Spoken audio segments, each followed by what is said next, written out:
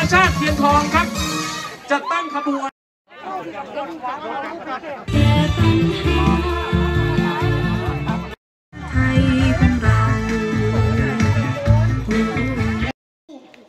ในขณะที่เขาก็มีลูก มีพ่อ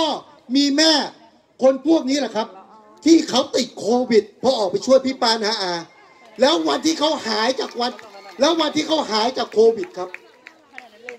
เขาออกตรงจากโรงพยาบาล มาเยี่ยมพี่ป้านาอาต่อครับ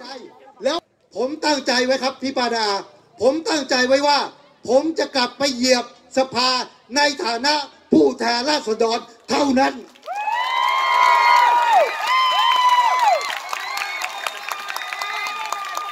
พี่ปานาครับ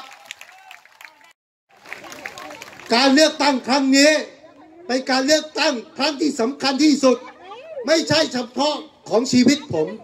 เป็นการเลือกตั้งครั้งสำคัญ